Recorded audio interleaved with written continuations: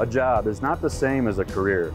If your skill set is construction and troubleshooting, Raynor Door Authority is an open door to your career. Our team is growing and the search is on for career-focused team members. Nearly half of our management team began their career as technicians and were promoted from within. We've got grit, integrity, and a positive family-like culture.